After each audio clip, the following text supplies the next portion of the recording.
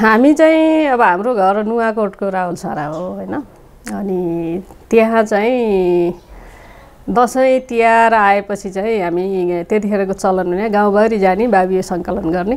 त्यस पछाडि अनि दसैँमा चाहिँ खास गरेर मेरो ठुल्दाई चाहिँ घर गएपछि अनि पिङ बाट्ने काम चाहिँ नि त्यो मियोको काम उहाँले गर्नुहुन्थ्यो क्या। अनि उहाँ जानुभन्दा पहिला चाहिँ हामी त्यो सबै बाबियोहरू सङ्कलन गर्ने भन्ने त्यो सबै गर्थ्यौँ। अनि दसैँमा हालेको पिङ चाहिँ अनि त्यो टिकाको दुई तिन दिन पछाडि फुकालेर राखेर अनि तिहारमा फेरि हामी अब यो तिहार पञ्चक लगाएपछि फेरि राख्थ्यौँ।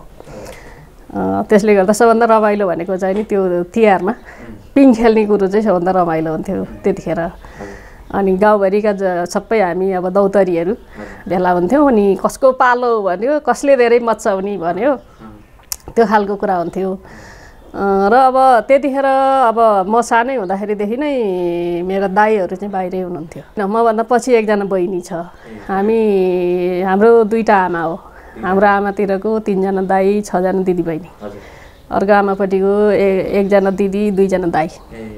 अनि हामी यस्तो चाडपर्वमा चाहिँ सबै बाह्रैजना र सबै फ्यामिली एकै ठाउँ जम्मा हुने हो। त्यसले तिहारमा पनि हामी एकै ठाउँ टिका लगाउँथ्यौँ। अनि अब म तेइस सालमा जन्मेँ मेरो दुइटै दाईहरू चाहिँ चौबिस सालदेखि नै काठमाडौँ आउनुभएको। उहाँहरू एसएलसी दिइसकेपछि अनिखेर एकजना दाई काठमाडौँ आएर पढ्ने पढाउन थाल्नुभयो अर्कोजना दाई जेठो दाई चाहिँ नि नैनीतालमा कृषिको। त्यतिखेर उहाँले स्कलरसिप पाएर उता पढ्न जानुभएको थियो। इन्द्रराज पाण्डे हो। अनि उहाँ चाहिँ कृषि विज्ञ हो नेपाल सरकारको कर्मचारी हुनुहुन्थ्यो अहिले रिटायर हुनुहुन्छ। अनि कान्छा दाईहरू पनि त्यहाँ हाम्रो गाउँमा पाँच कक्षासम्म मात्रै पढाइ हुन्थ्यो। अनि त्यसपछि उहाँहरू पनि काठमाडौँ आउनुभयो। अनि घरको ठुलो चाहिँ मै भयो त्यतिखेर म र मेरो बहिनी अनि त्यसपछि मेरो भदा पनि जेठो दाईको छोरा विक्रमराज पाण्डे मभन्दा डेढ वर्ष जति कान्छो हो। मेरो बहिनीभन्दा छ महिनाले जेठो हो। अनि हामी हामी सबै त्यो हिसाबले अनि दाईहरू कहिले आउनुहुन्छ भन्ने हिसाबले नै गर्थ्यौँ म धेरै पहिलाको त धेरै याद छैन होइन? बत्तिस तेत्तिस सालतिरदेखि चाहिँ। अब तिहारमा दाईहरू त त्यति जानुहुन्न थियो तर पनि गाउँमै दुइटा दाई त हुनुहुन्थ्यो। त्यसपछि मेरो जेठो दाईको पनि छोरै छोरा मात्रै छन्। अनि मेरो साइलो दाईको पनि छोरै छोरा मात्रै छन्। अनि त्यसले गर्दा दाईहरू र भदाहरूलाई हामी एकै ठाउँ राखेर टिका लाउँथ्यौँ। र अहिलेसम्म पनि त्यो चलन कायमै छ। अब पछि अब म अठ अडतिस सालबाट काठमाडौँ आएँ। अब काठमाडौँ आइसकेपछि नि दसैँ तिहारमा हामी प्राय गरी घरै जान्थ्यौँ। तर पैँतालिस छ्यालिस सालभन्दा पछि चाहिँ हामी अलि अब काठमाडौँतिरै अलि दसैँ तिहार मनाउने खालको तिहार चाहिँ खास गरेर त्यो भयो। दसैँमा चाहिँ पछिसम्म पनि मेरो अर्को आमा रहुन्जेलसँग हामी नुवाकोट नै जान्थ्यौँ। अब तिहार पनि सकेसम्म चाहिँ उतै नै मनाउँथ्यौँ। तर यो पछिल्लो चरणमा जब मेरो अर्को आमा पनि बित्नुभयो त्यसपछि चाहिँ अहिले हाम्रो चाडबाड मनाउने केन्द्र चाहिँ हाम्रो जेठो दाईको घर। अनि हामी दसैँमा पनि ती जम्मा हुन्छौँ अनि तिहारमा पनि यो ललितपुरको खुमलटारमा। उहाँ पहिला त्यहीँ खुमलटारमै काम गर्नुहुन्थ्यो। अनि त्यसकै साइडमै जग्गा किनेर त्यहीँ घर बनाउनु भयो अनि अहिले पनि दसैँ तिहारमा हामी जमघट। त्यही नै हुन्छ। हाम्रो पारिवारिक अब यो अलिकति सांस्कृतिक हिसाबको यताउता जमघट हुने भयो भने चाहिँ अनि हामी चाहिँ परिवारको राष्ट्रपति भवन भन्छौँ त्यसलाई। हामी त्यो त्यो हिसाबले अलिक ठट्टा पनि गर्छौँ। त्यसले गर्दा ठुल्दाई त यही नै हुनुहुन्छ होइन? यो माइलो दाईको घर भयो। कान्छो दाई चाहिँ बाहिरै हुनुहुन्छ। कान्छो दाई चाहिँ अब यता आएको मौका पर्दाखेरिमा हुनुहुन्छ। होइन भनेदेखि उहाँ चाहिँ यस्तो भयो। उहाँ चाहिँ अब बिएससी एजी इन्डियाबाट गर्नुभयो। त्यहाँबाट आएर रामपुर पढाउनु भयो त्यसपछि लुम्ले कृषि फर्ममा काम गर्नुभयो। पछि उहाँले पिएचडी गर्नलाई अमेरिका जानुभयो। अनि ती पिएचडी सक्नुभयो अनि उहाँको चाहिँ नि यो एन्टोमोलोजी हो। खास गरेर अहिले हामी जुन अर्ग्यानिक खेती भनिरहेछौँ। त्यसमा चाहिँ हामीले विषादी हाल्नुभन्दा पनि किरालाई किरा नै लगाएर कसरी नियन्त्रण गर्ने भन्ने चाहिँ उहाँको विज्ञता हो। त्यसपछि उहाँको पढाइ सकाएर केही समयपछि उहाँ आउनु पनि भयो। यहीँ बसेर काम गर्ने भनेर चार पाँच वर्ष बस्नुभयो। चार पाँच वर्ष बस्दा नि उहाँले आफ्नो जुन एक्सपर्टिजको क्षेत्र हो त्यो क्षेत्रमा त्यो त्यो विज्ञतालाई प्रयोग गर्ने खालको वातावरण अलिक नबनिसकेपछि अनि उहाँ फर्किनु भएको हो। अहिले पनि अब त्यो खालको अलिकति वातावरण बन्यो भने आउने भन्नेमा चाहिँ हुनुहुन्छ। तर अब यहाँ आएर उहाँको चाहिँ खास गरेर यो चिलैसा खेती हो क्या फेरि। अब हाम्रोतिर चाहिँ चामलमा चिलैसा लाग्यो भने बिग्रियो भन्ने हुन्थ्यो होइन।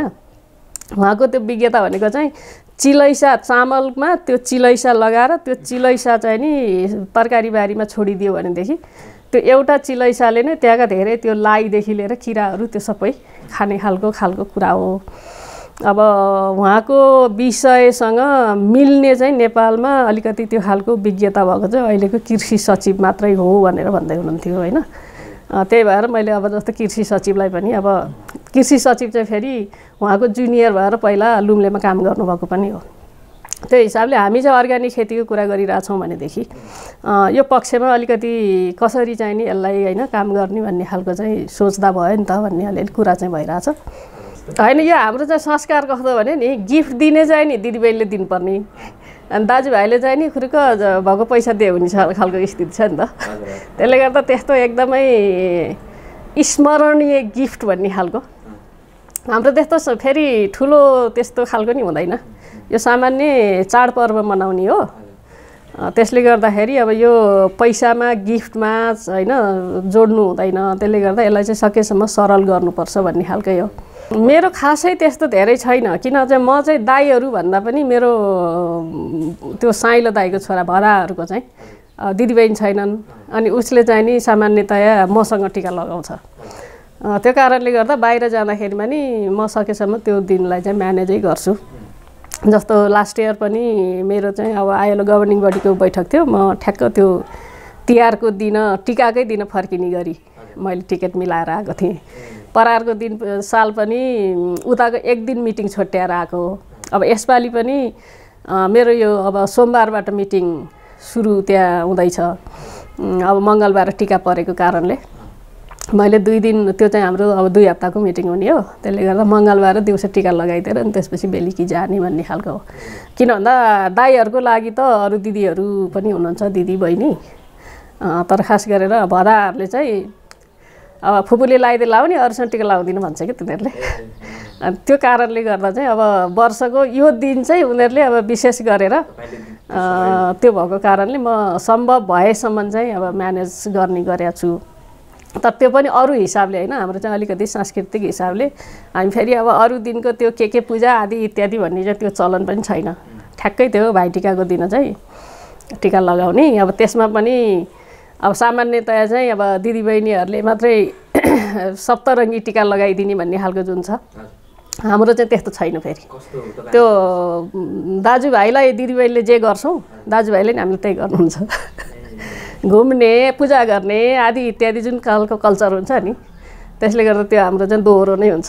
त्यो एकहोरो चाहिँ अब दाजुभाइलाई चाहिँ पूजा गर्ने त्यसपछि माला लगाइदिने के गरिदिने त्यो सबै हुने अनि त्यसपछि दिदीबहिनीहरूलाई चाहिँ एउटा अक्षताको टिका लगाइदिने भन्ने खालको जुन थियो नि हाम्रो केही वर्ष भयो त्यो खालको छैन। अब यो जे जे गर्ने हो बराबर गर्नुपर्छ भन्ने हिसाबले।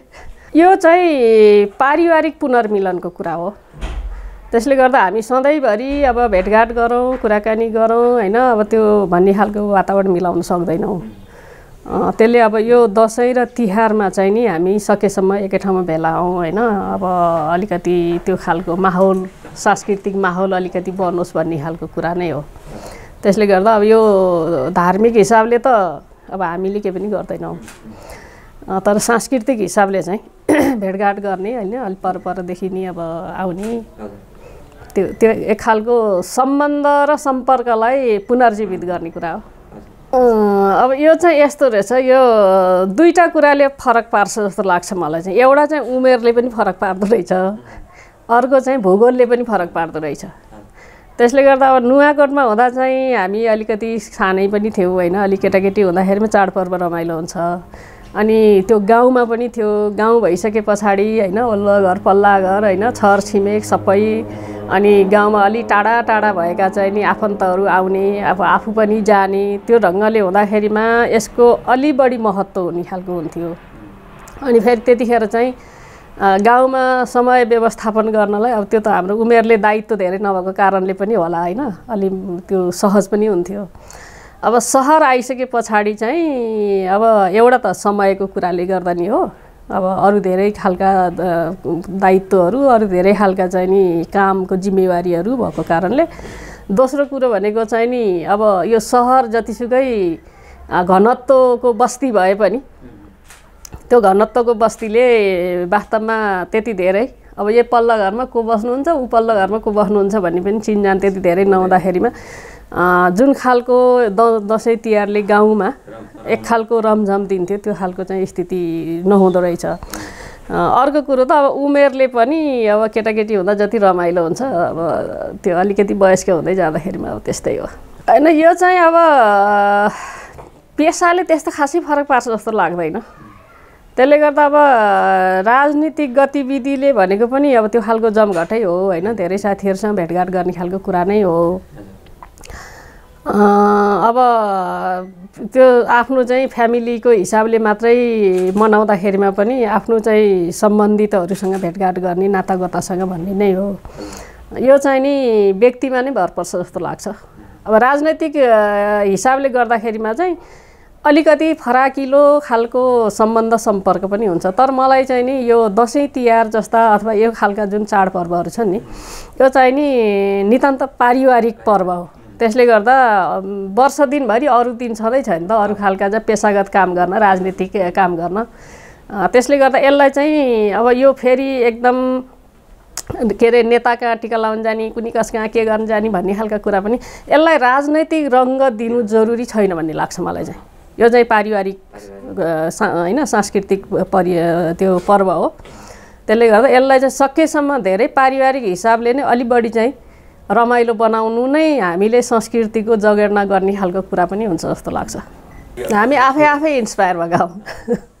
हामीलाई चाहिँ परिस्थितिले इन्सपायर गर्यो भन्ने लाग्छ होइन? सुरुवात तर पछिल्लो चरणमा त अब सबैले सबैलाई त्यो अलिकति इन्सपायर गर्ने खालको कुरो त भइ नै हाल्छ होइन? पारिवारिक माहौलले पनि अब अलिकति सहयोग गर्छ नै। त्यसमा पनि खास गरी हाम्रो समाजमा हाम्रो जमानामा अलिकति राजनैतिक गतिविधिमा लाग्ने खालको कुरा चाहिँ परिवारको मान्छे त्यो राजनीतिसँग संलग्न हुँदाखेरिमा चाहिँ एउटा छोरीको हिसाबले राजनीतिमा संलग्न हुन साङ्गठनिक काममा जान अलि धेरै अवरोधहरू कम हुने खालको कुरो त भइ नै हाल्छ। तर मूल कुरो चाहिँ भनेको फेरि आफूभित्रकै कुरा हो।